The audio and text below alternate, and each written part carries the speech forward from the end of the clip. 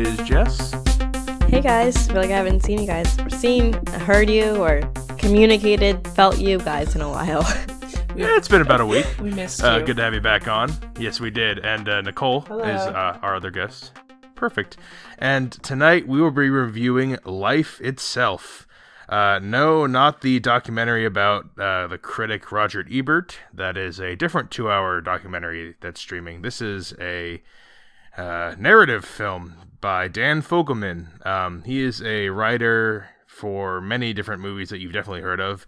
Uh, the two of the Cars movies, uh, Fred Claus, Bolt, uh, Crazy Stupid Love, uh, La- Last Vegas. Um, That's an eclectic. he eclectic directed.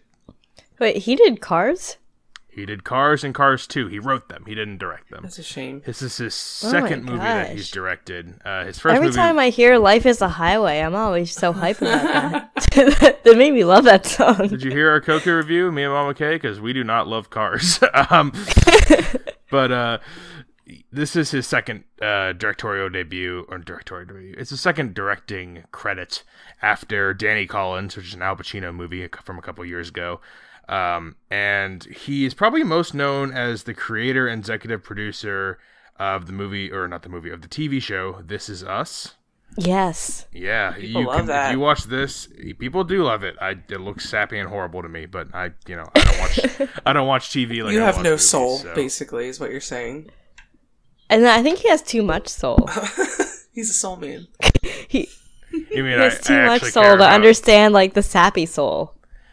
I have sap in me. You heard my eternal sunshineness. Have you? I cried for the last half hour of Coco. Did you not? All right. Well, I, I, I I'm sorry. I, I'm sappy for good writing and story and characters that make sense. And uh, you know, well, all right. Well, let's get into this. Life itself. I'll give you the uh, synopsis, and then we will go into spoilers. Uh, Life itself centers on a couple, Oscar Isaac and Olivia Wilde, uh, that lead a multi generational love story spanning both decades and continents, from the streets of New York to the Spanish countryside. And they are all interconnected by a single event. Pretty accurate, unfortunately. Yeah, I would Um, say so. So yeah, like this, like we said, uh, this stars Oscar Isaac, Olivia Wilde. People probably know them from a million things. Um, yeah, I was gonna say from everything. yeah, I, I think if you're listening to a movie podcast, you know them. Uh, Mandy Patinkin, um, Olivia Cooke. I love Olivia Cooke. She was in uh, Thoroughbreds last year. She was in Ready Player One. yeah, she's Um, in a lot of recent things. I think she's just recently became a huge My hit. favorite thing of hers is a TV show, is um, Bates, Bates Motel. Oh my god, I love Bates Motel. Oh, I watched Bates Motel Yes. two years ago. she was great. Yeah. Oh yeah, TV, mm, good stuff. Um, so yeah, she's in this. Um, you have Annette Bening. Uh, you have Antonio Banderas, uh, and you have Samuel L. Jackson briefly. Yeah. Um, so yeah, there's a and there's a bunch of other people in it. I won't name everyone. There's just too many. Those are, I guess, your most recognizable names. Um, and it's a film broken down into five chapters. Uh, it's like a dramedy, I guess, a drama comedy that is both English and Spanish language. Uh, we should say before we go into anything else, this is streaming on Amazon Prime. It came out last year, so if you did not see it in theaters, it's on Prime. Go ahead and check it out. Uh, it's a Prime movie, so I think it'll be there for a while. Um, so the way we rate things here at Films with Women in My Life are on four criteria. That is the plot, the characters, the visual and sound, and the overall resonance and feel. So I will start with the person who has seen this movie twice before this review. uh, Jess, what do you think of the plot of Life itself? Okay, so going into this, I had very, very, very high hopes. Um, I really.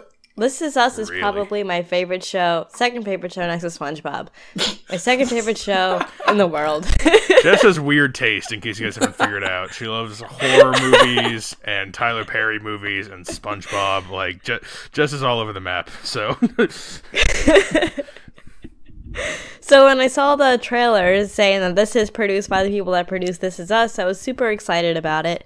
Um, so I saw it in theaters and I did like it.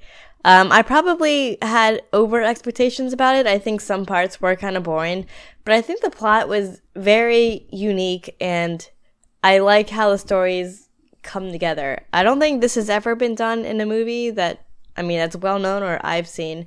And I like how it's different. And when some people try to do something different, it gets, I don't know, like sometimes it's too confusing or the audience can't really understand it. But I liked how there was two different um, subplots to this. So I probably would give it a eh, three five. Again, it was boring at times, um, and there's a lot of slow parts, and it's definitely not action filled, so which is probably why I liked it.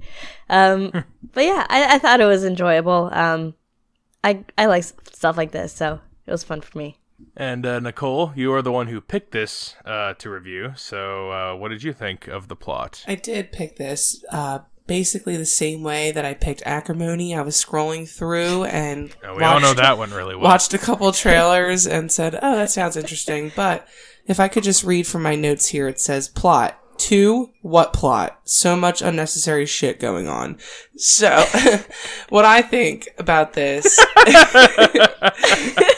this movie. Yeah, there, there really is no plot. No, like this movie could have been cut down like by a quarter, I think.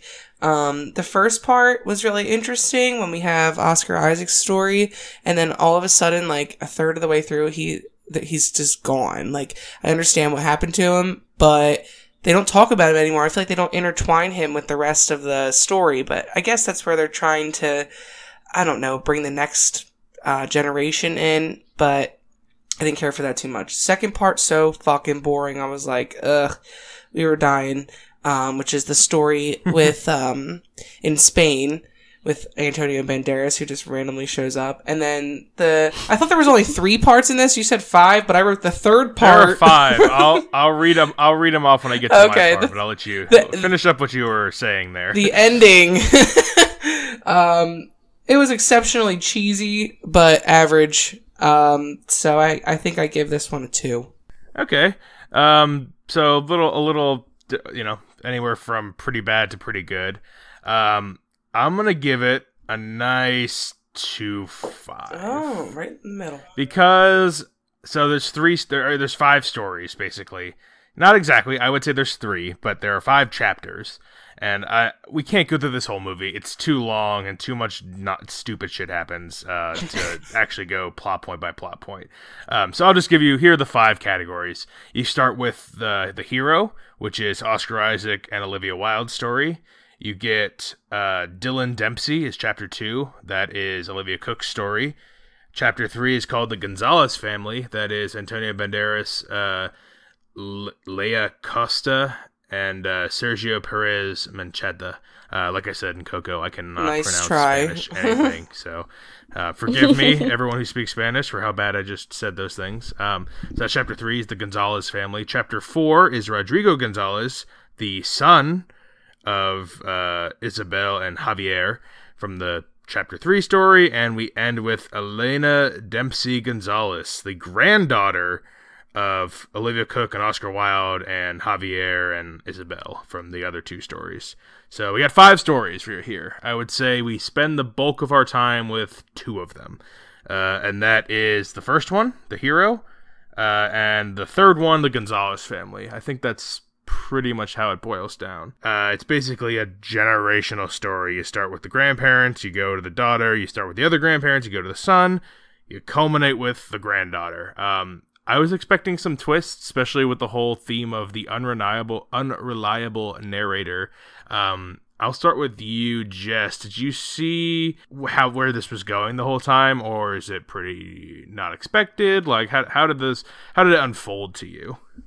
Yeah, I did not see the very end well, can I spoil the very end, or do you want to go through the series? No, first? I don't really, because this is there's too many there's too much too many things to go through, and I don't think it's quite worth it to stop at every stop. So let's just jump around a little bit. Okay, so the very end, how it comes together is Olivia Cooke is um, crying outside, and then the son um, kind of just runs into her, and then they became a. Uh, it's hard to explain. So the two stories come together with the babies of both of the stories, right. um, starting their own family.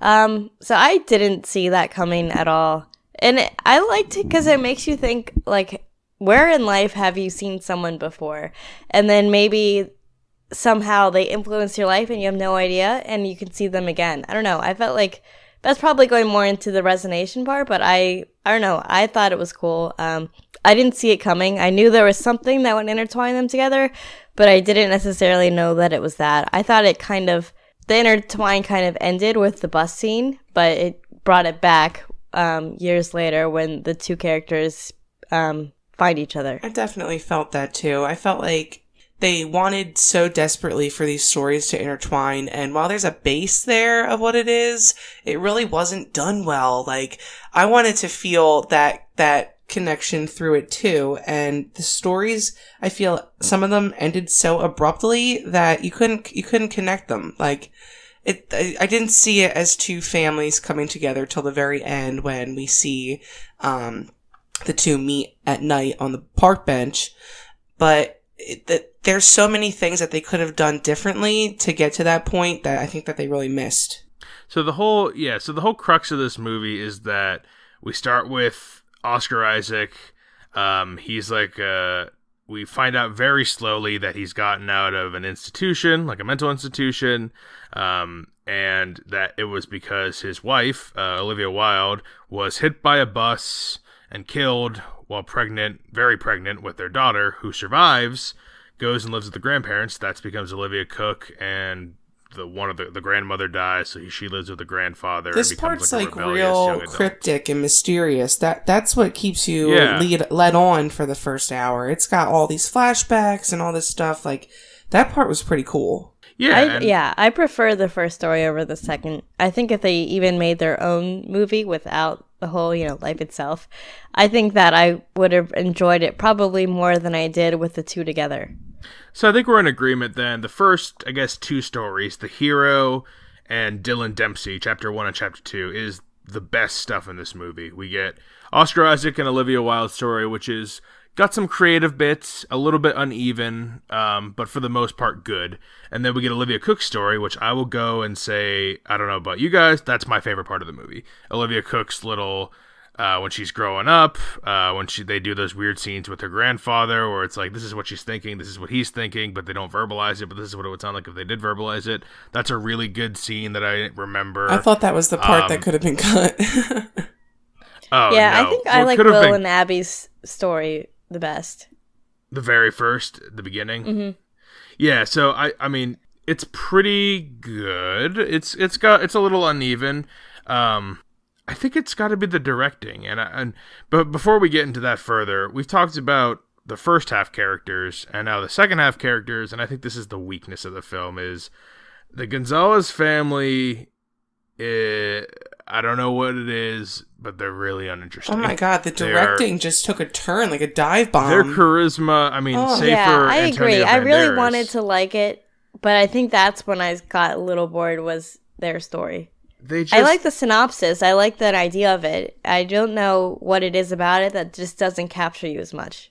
I think it's it's I think it's a little of everything. I mean, the writing isn't as sharp for them. The directing is weaker. Like the shots are not interesting or engaging. Everything's very sterile. And, I mean, he's this is the he's a the you know the creator of This Is Us. It feels like a TV show. It doesn't feel cinematic. It feels very.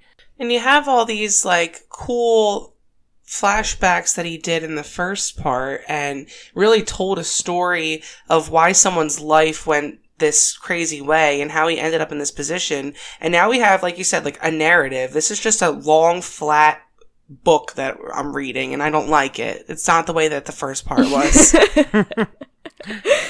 yeah, and I, I don't know. Like I said, I think the idea of the second story is really interesting. I think it just could have been done a lot better to capture the audience.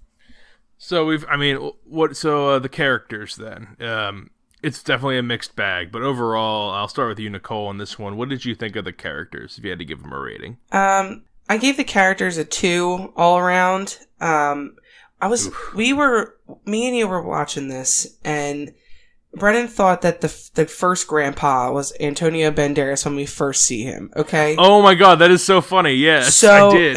then when we get around to the second half and we see fucking Antonio Banderas, I'm like, what is going on? I didn't know if they were supposed to be brothers because at that point it would be pretty like incesty if these families got together because they're kind of cousins, you know? It was just Hold on. I want to I want to explain that more. So, I think I first mentioned Antonio Banderas in the very first part before we even meet the grand we didn't even know he was in this film yet. No, I didn't know. I, I knew and I knew Oscar Isaac and Olivia Wilde were in this because they're on the poster. That's all I knew. I didn't know anyone else was in this. Um, and uh, you've got you've got uh, they do a flashback to um, uh, Will and Abby at like a Pulp Fiction party when they're in college. And what did I say when I saw Oscar Isaac in like the stupid silky hair, like he's trying to be John Travolta? I was like, he looks like Anto- a young Antonio Banderas right there.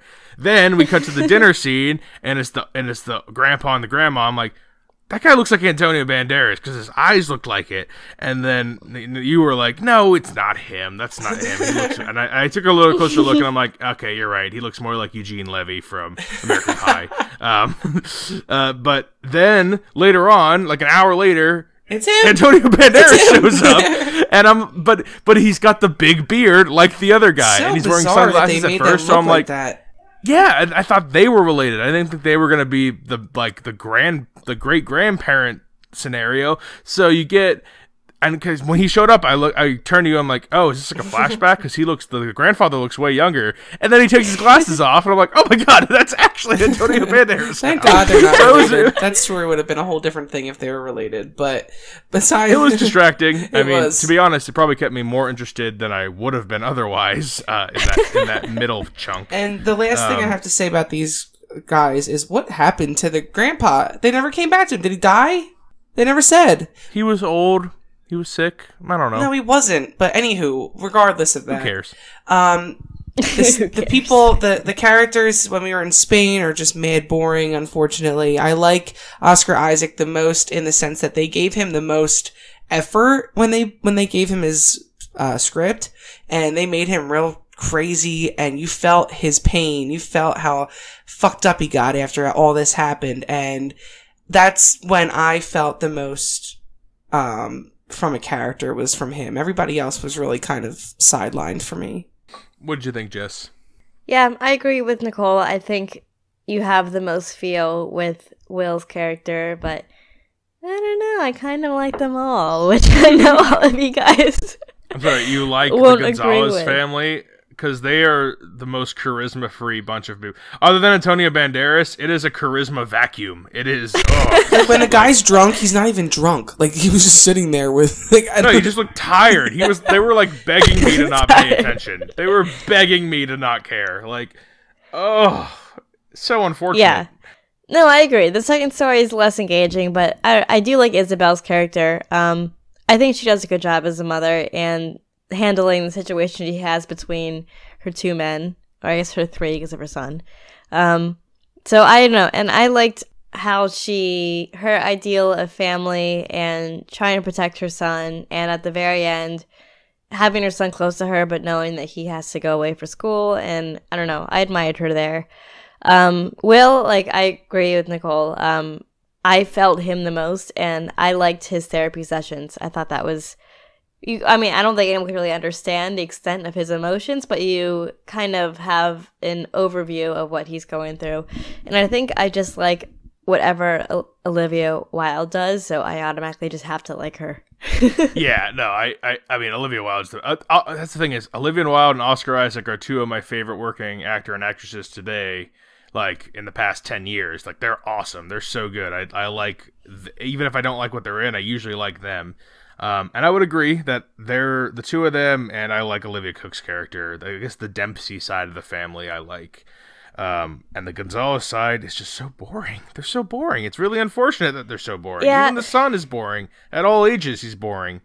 yeah, Um, the son was a horrible actor. I think they could have chose someone better. I think the, like the college scenes, I was like, okay, okay. So you know who my favorite character? I give it a two five, by the way, the characters. But you know who my favorite character is in the Gonzalez story? The shitty girlfriend that he my had. Don't! I knew you were going to say that. I was like, don't say the girlfriend. she's. I think I turned to Nicole within the first minute of her talking. I'm like, oh my god, she's the worst thing ever. And then very quickly, as I often do, within three minutes of her talking, I'm like, oh my god, she's fucking awesome. she's so stupid. She she's so vain and They like needed something to pick that up. That's why she's so funny. So she she and I have to say this once she she lies to the son saying that she's pregnant and they go through this whole thing but the whole time she's acting like a fucking ditz. Like she's like do you guys do you guys like abortion? And oh you're really christian. Like can you not have abortions if you're christian okay well let's go over like and they go to like brunch to have their options and then Oh her third gosh. option is or maybe it's just april fools. And then the guy's like i don't know what that is. He's like oh you don't Ah, we gotta admit it was pretty funny. Like she's so It- stupid. no, she just like she brought me back to all the dumb girls in college that I never liked. See, I think I think they're humorous. I, th- I find them humorous.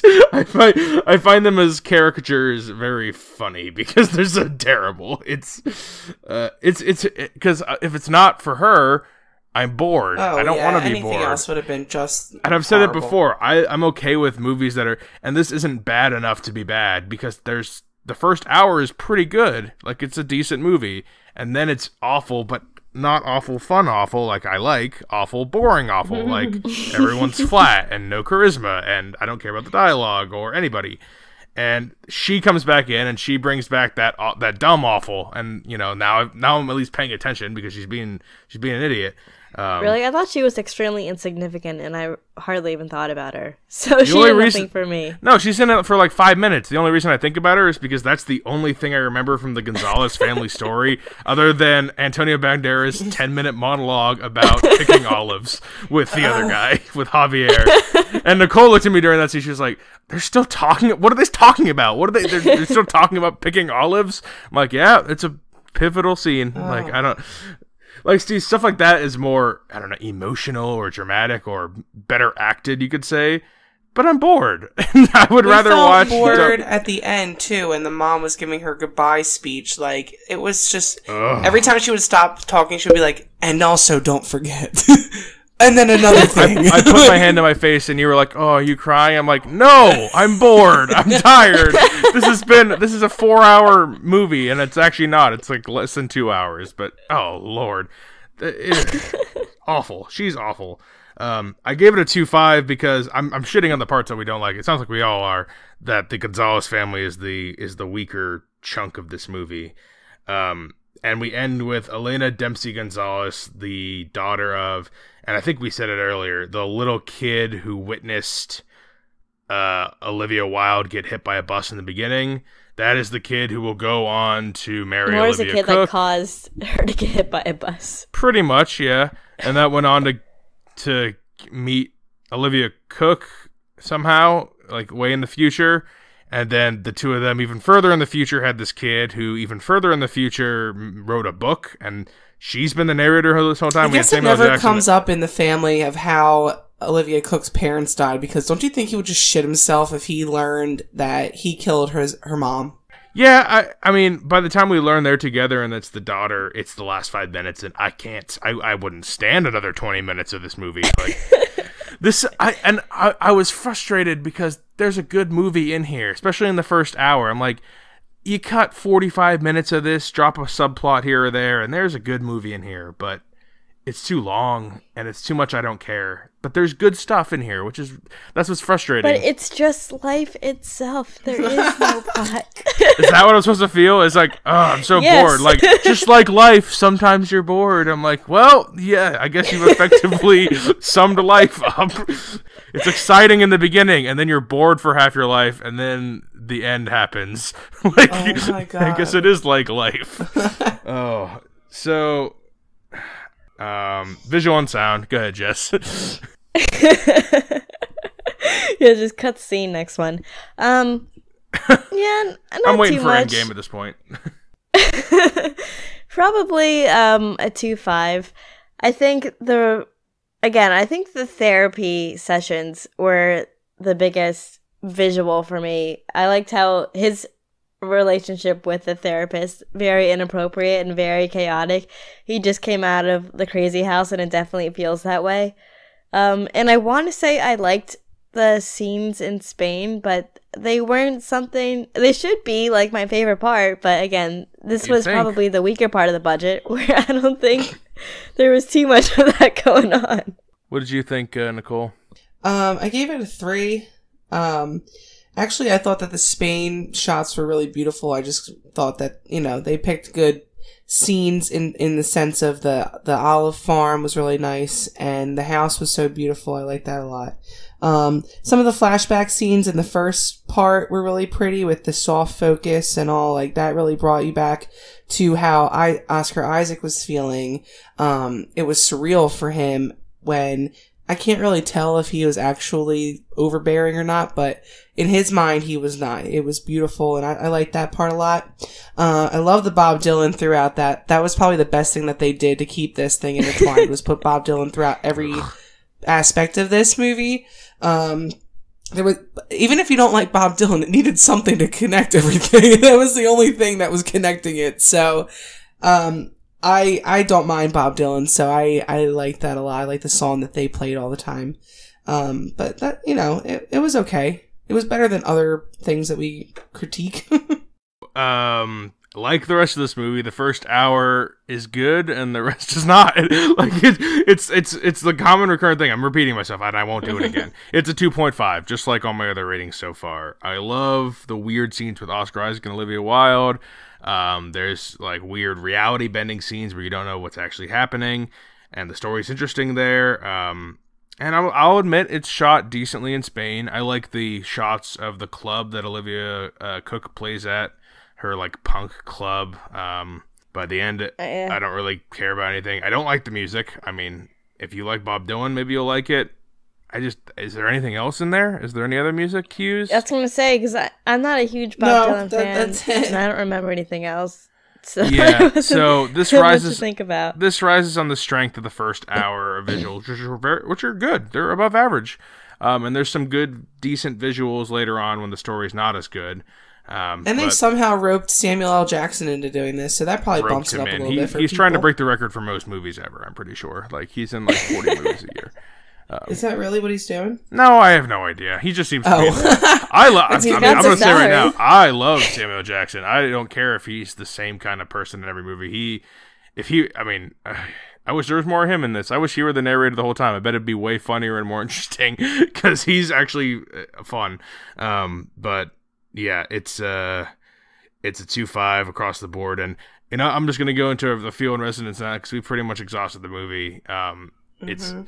a one for me. oh my goodness! Oh. Big ol' one. You know why it's a one? It's because I think we all know why. because it is less than the sum of its parts. It is a dud after competent storytelling in in parts and good visuals in parts and good acting uh, for the most part and good characters sometimes.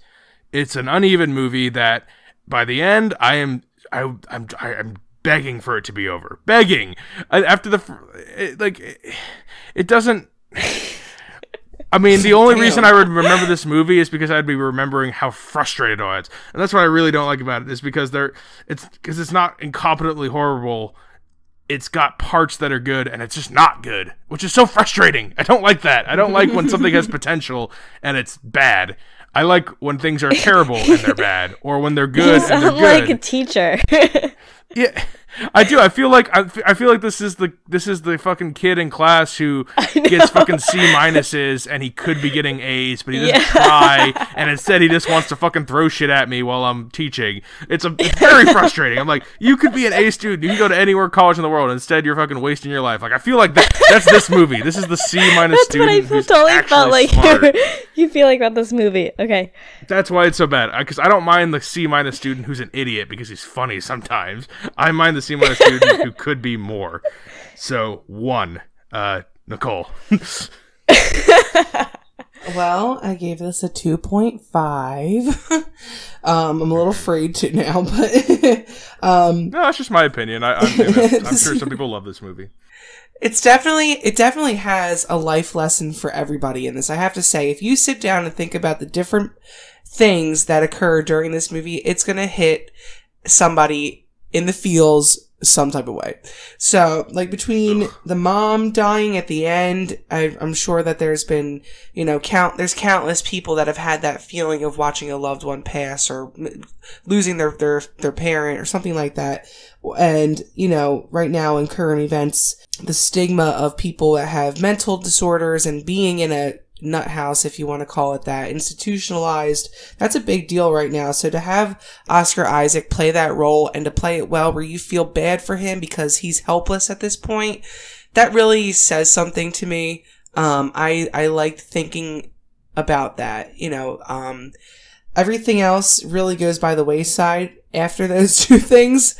Um, like we've, like we've said multiple times already, that middle part could have had potential to give us something so much more in the sense of a broken family home when the when the husband leaves in Spain, but it was just like I'm gonna leave. Can you take care of my family? Okay, I will. And like, what the fuck was that? Like, that was that was so stupid. But regardless of that, um, it it was it was average for me. A two point five is a good choice. All right, Jess, what do you got? So yeah, I'm a little scared to give it a four. Oh my god! Holy shit! My, all right, well, fine. You could you can defend this like Eternal Sunshine. This will be your Eternal Sunshine. Good. Um, I'm pretty sure that in theaters I cried four times, and I don't think I've Oh. ever cried You once- you don't cry at anything. Yeah, cried at this. No, I cry. I cry at This Is Us and and Grey's Anatomy. This is why we have Jess on. She's just so much different than our other hosts. No, um, I don't know. I think I it it did what it had to do. Like the whole movie itself was life itself, and there was not supposed to be a huge plot or pivotal events or a lot happening. It's kind of like just for you to understand everyone's story and how they're connected. And yeah, it could be boring, but there's also suicide and the bad girlfriend and it all comes together and I don't know, I think it delivered what it was meant to do. well, I like this. I like that we all have very different opinions on this. I don't like when we all agree. Sometimes, you know, it gets a little boring when we have different opinions. I think it's a, I think it's a more itself. engaging show. It's it's life itself. You know, it's it's got ups and downs. But it's mostly terrible. So, uh, Nicole, and haters. Nicole, since it sounds like you're the middle opinion, I'll ask you first. Do you recommend Life Itself? oh God! I mean, it really just depends on who you are as a person. If you're Do watching, movie- you? I'm telling Life you, Itself? No, no, no. I'm just, uh, I know it depends. I'm the type are. of person that doesn't have a soul sometimes. So, when it comes to this type of thing, I I don't feel like I like it that to recommend it. Like it just it it wasn't the type of movie that grabs me. For other people, this would totally grab you. If you've been in scenarios like this and you feel that this is how your life has gone, you're gonna you're gonna love this because you feel a connection. I per se don't have that connection, so I'm gonna not recommend it to people that are heartless sometimes, like I am, because you're gonna think it's boring and played out. Jess. Um, I would recommend this. Obviously not to someone like I, I knew Brennan wasn't gonna like it. I think I told you you're not gonna like this She movie. did. She called it for this, and she called it for acrimony. So Jess knows when I Jess knows my taste, so that's good, and I know hers too. So I think we that that's that's helpful for the show. It is. Um, I don't know. I I like these kinds of movies where there's not. It's kind of hard for my ideal of dull because like I can't do like dull like history dull, but I can do modern day dull, and I like the modern day dull like this. Um, because I don't, I can't do action. I can't follow everything, but I like a simple story and following it and the feels that go along with it. So I recommend this. Um, probably not a super strong recommend. Like said in the beginning, I think I had higher expectations than what I thought. The first story definitely, the second one not so much, but I think it's worth watching a second to see it all come together. Yeah. Um. You know, I don't recommend it, obviously, uh, because it could be good and it isn't, and that's kind of what I have to say. I mean, I don't want to repeat myself. Um, you know, it's I, I'm sure there are people who will like this, but if it's me recommending it or not, I can't. It's too long. It's too much waste. Um, The ratings, if you've seen, are like everywhere. So if you look at Amazon, it got a 4.4. But then if you look at like Rotten Tomatoes, I think it Oh, it's a thirteen 13%. I checked it after this movie. I'm like, did people like this? Am I missing something? Am I just crazy? Um, not with the critics. Uh, there are users who like user scores who like this, and I think it might be because, like Jess, you said this is a movie like of which you've never seen, as far as like how the stories intersect and everything ties together. There's, I mean, I've seen many movies. I think the biggest, the, the biggest one I can consider like this is uh the 90s movie Short Cuts directed by Robert Altman. It feels like a poor man's Short Cuts. So if you uh, it, that's that's very similar. It's got like seven or eight life stories that all intersect in different ways. Um and it's also too long. Um it's a better movie though.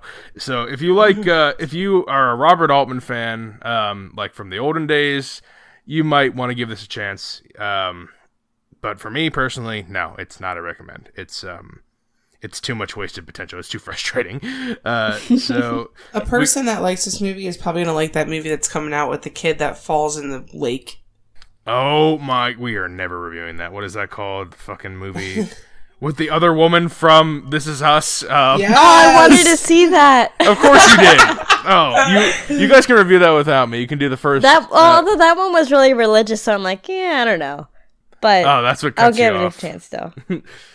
All right. Um. So we got one, one uh, medium recommend, one slight not recommend, and one strong not recommend. So kind of all over the place here. Um. You know, if you've listened to the show, I think you probably at this point know who you side with as far as your personal taste. So uh, whoever you side with, you know, make your decision based off that.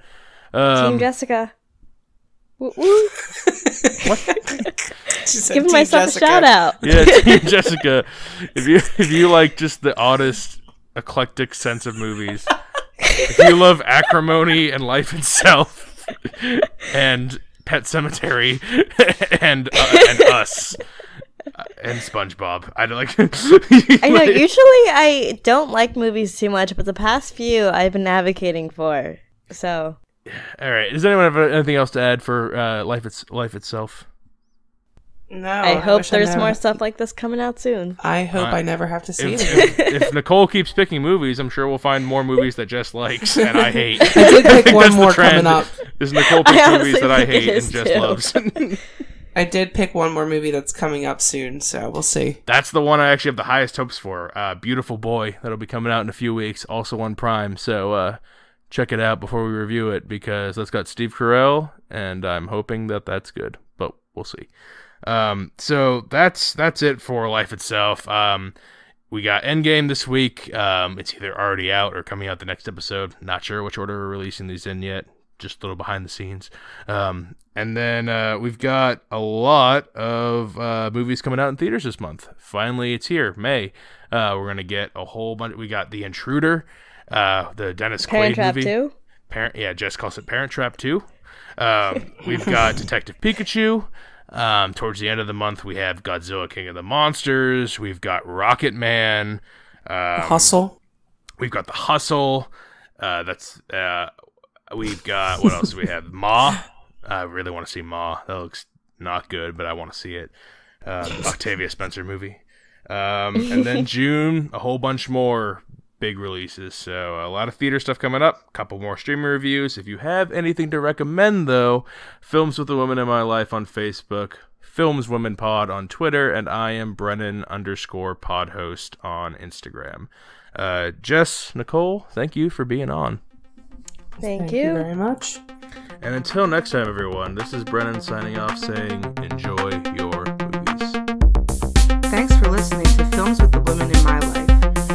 enjoyed being a listener in our life, subscribe to us on iTunes. Please leave a review as it helps more people find the show. Like us on Facebook at Films with the Women in My Life. Follow us on Twitter at Films Women Pod.